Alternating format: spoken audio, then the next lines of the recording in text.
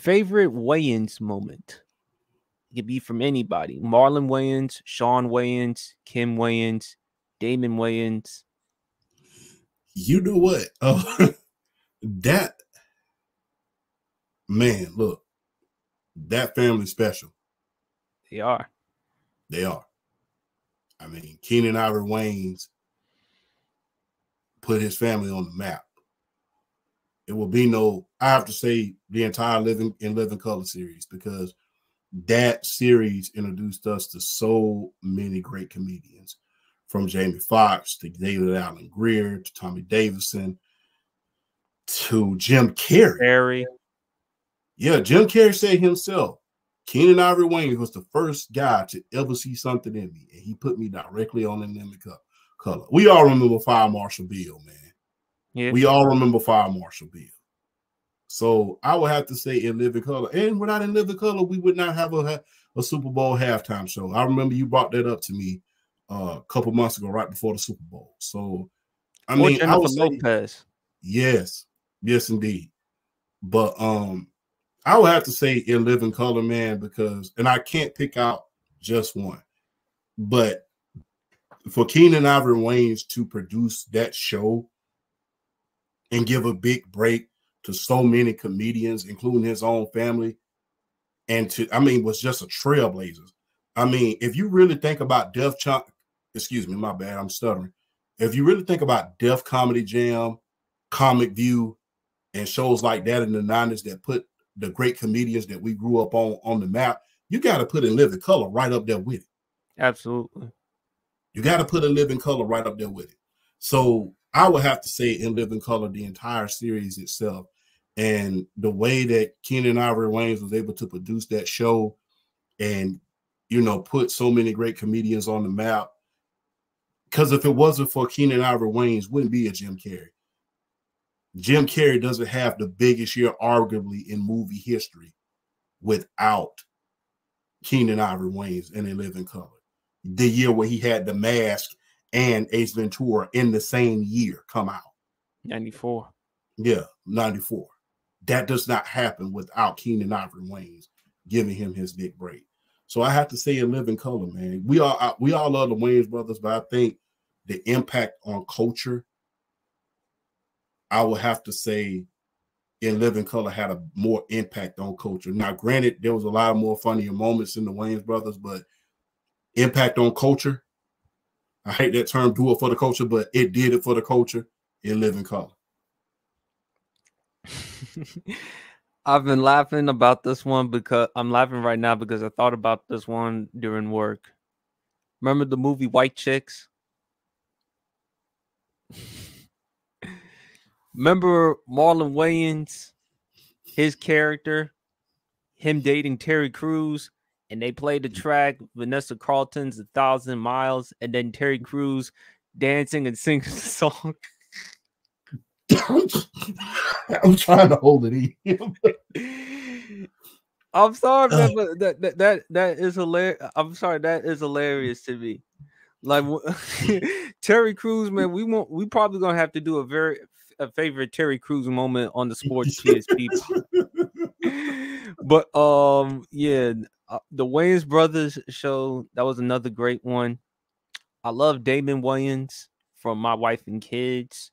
Yeah, from the show Damon, Keenen Ivory Williams, as you mentioned. Fan, I mean, are they champ in your opinion? Kind of like the Jacksons in some ways, just how they've like given opportunities and how they are as like a family? Yeah, and in certain cases, man, look, like I said, for comedy,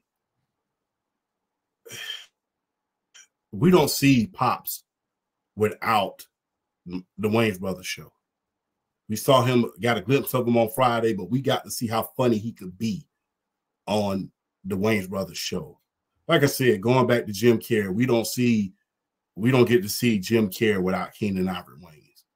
When it comes to Damon Wayans and you know Major Payne and all of those funny movies that he paid, played in, not to mention, man, you know, one of the funniest comedians to ever play a role with the great Bruce Willis. in the last Boy Scout. You know, when you talk about that character, he was essentially Willie Beamen before Willie Beamen. You know, one of those quarterbacks that just had gone bad and just flew completely off the tracks.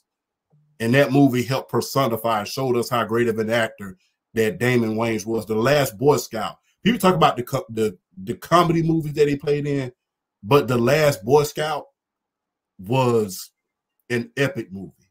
Mm-hmm. So I got to give credit where credit is due on that one. My favorite one from the Wayans is Marlon. Um, the good basketball movie that he did with Kadeem Hardison, The Sixth Man. Love that movie. Um, but the Wayans brothers, I watched that show still to this day on HBO Max. That's when I watched that. I watched Fresh Prince. I watched Martin. But man, man, the Wayans they they gave us some great content. Yeah. Fun fact, you know the Robin that you know that was going to play in Batman Forever. It was originally supposed to be Marlon Wayans. I didn't know that. It was really supposed to be Marlon. They in fact casted him for the Robin role.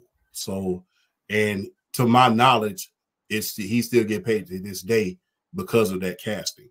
Because it was supposed to be if Tim Burton would have stayed as far as creating those Batman movies in the 90s, it was supposed to be him and Harvey Dent was still supposed to be Billy Dee Williams. And Robin Williams, God rest his soul, was supposed to be the Riddler. Mm. But uh and I, am sorry, Jeff, if I terrified you with um the Terry Crews moment on White Chicks, man. I, am sorry that that was a hell of a movie, though. That was a hell of a movie. I'm just like, I, I every time I think about that movie, I think about one thing. I think about him being at that at the table with that damn menu, ordering everything except the kitchen sink. I have a steak smothered in onions. I have a I can't even get it out right now. But uh that's the first thing I think about when I think about that movie is him being at that table with Terry Crews. What about the runaway part? You when he when he finally reveals who he is, and then Terry Crews is like, "You mean to tell me that you're not? No, I'm not. I, am not a girl. I'm I'm not I'm not a woman. I'm a guy."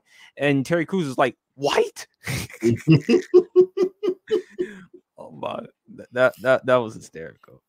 That was hysterical, man. Got to give a lot of credit to that family, man. I don't think they always say, man, look, when it comes to a lot of comedians, they're very, very underrated because, you know, hey, sometimes a lot of the old school guys get lost in the show.